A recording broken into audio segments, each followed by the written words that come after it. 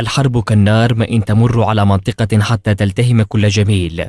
فهنا في منطقة ثعبات في مدينة تعز المنطقة التي سميت قديما بحديقة السلاطين. تقف اليوم خائرة القوى بعد أن التهمتها نيران الحرب.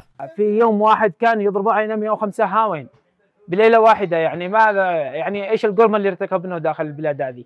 يعني ثعبات تحملت مشاكل الجمهوريه كل ليله، سلاح الدولة كله روح لعندنا، يعني الحمد لله لولا الغطاء النباتي اللي جالس يحمينا ولا الفتى كنا نسمع مع الضرب هذا نبكر الليل معنا خلاص نقول مع بش ناس بالصباح نبكر.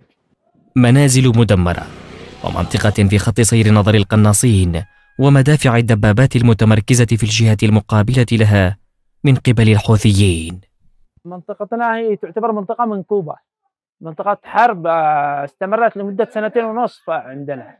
يعني آه، المنازل دمر المنازل دمر القتلى معنا ما يقارب 100 شهيد عندنا ما يقارب عدد من الجرحى كثير من الجرحى 300 آه، جريح وما يقارب من المعاقين معنا 21 معاق احتمال يعني بسبب الألغام وسبب الهاونات قذائف الهاون هذه تصدر من ميليشيا الحوثي إلى عندنا إلى المنطقة. منطقة ثعبات تفتقر إلى كثير من الدعم فالناس هنا يفتقرون إلى كل شيء يجعل الحياة تستمر. فهذا مركز الهلال الأحمر اليمني.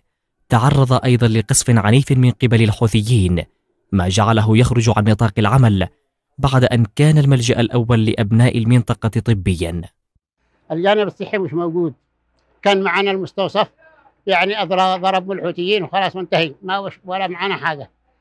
الذي يعني يشتي حتى لو فيها مرض في إسعاف يعني جاهل أو مرأة أو يعني ينزلوا يدوروا داخل الثورة داخل الجمهورية.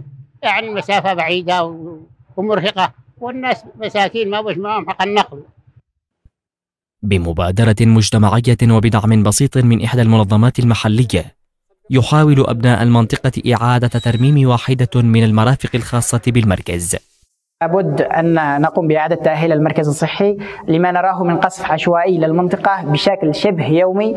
آه، فهذا الشيء الذي جعلنا لنخترع أو لنفكر بشيء بديل عن إسعاف المريض إلى مناطق بعيدة آه، بعيدة عن المنطقة. آه، فأوجدنا هذا المركز ليكون إسعاف أولي أو كإسعاف يعني ينقذ المريض في فترة في مسافة قريبة من المنطقة. معاناة لا مثيل لها هنا فالحياة هنا رهينة مدفعية أو رصاصة قناص. حياتنا مليئة بالسواد كهذه الغرفة بالضبط إلا أننا ما زلنا على قيد الأمل على الجنان لقناة سهيل. تعز.